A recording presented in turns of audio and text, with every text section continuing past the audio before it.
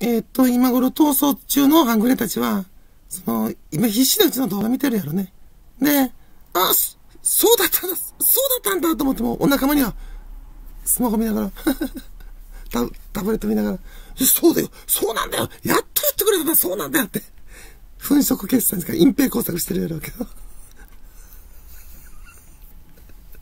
な、でも、あの、うちが優れた魔女やから、あんたら、まじ、なんですか、魔術契約してしまったばかりの、暴暴走人生いうか、まあ、暴走してへんな、超安全運転、爆音。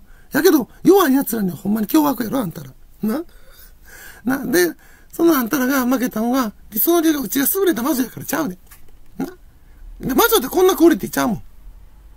これ魔術師のクオリティやんか。しかもその、本当に初歩的なもんでしょ？じゃあなんでうちに皆さん負けたんかって言ったら、まあうち魔女としての能力は魔術師よりありますよ。それはもちろんね。それはまあ言わへんけど、魔女、魔女、魔女系のムック読んでくださいよ。ね。で、結局、その魔術師たちが本当に力ある魔術師組合がうちのこと助けてくれてるからや。それはうちが信用できる魔女に、信用できる女神に育ってきたからやんか。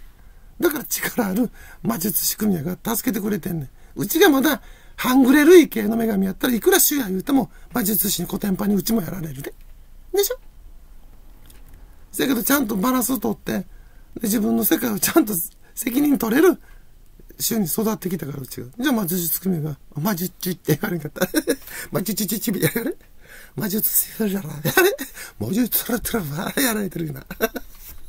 な魔術組が助けてくれるよ、今みたいに。ドロドロあいつきドロドロっていいやつ。な ってな感じで、こうご期待やったけ？Anyway,